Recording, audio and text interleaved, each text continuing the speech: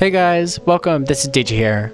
And today, this is going to be a, little announcement video that I was sort of debating on making. And this was supposed to be me trying to play Minecraft hardcore. And I have to go and make a confession. I am not a good survival player in Minecraft. The best thing I'm really good at is just building. I know how to design, I know how to build, I know so much about creativity, and it kinda is the most exciting thing I love about the game. But yet, there is the survival, and that's the one I'm not that good. I have that tendency to maybe sometimes play survival, and yet I die so quickly. So, I wanna try to do uh, Minecraft Hardcore. But if you want to just see me do a regular Minecraft series by surviving 100 days without dying, but in a regular survival map, then maybe that would be something that I like to try to do.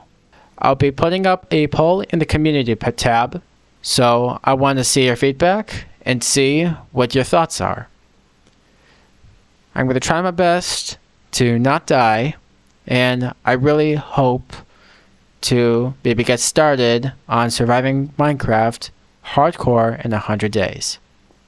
One thing that I am not that great, even as a survivalist player, is I have never defeated the Ender Dragon.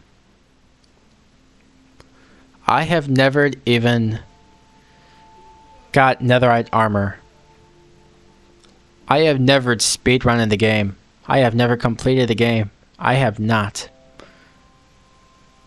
That is something that I am not that good of, and yet I just still have that feel of just building. And yet, even if I wouldn't make a 100 days hardcore world, you may notice me making more building. Like, maybe build a mega base. I always wanted to build a mega base, but I never had time to do so. But maybe if I recorded, maybe this can give me some motivation. So stop by, go to the pull tab, and I want to hear your response.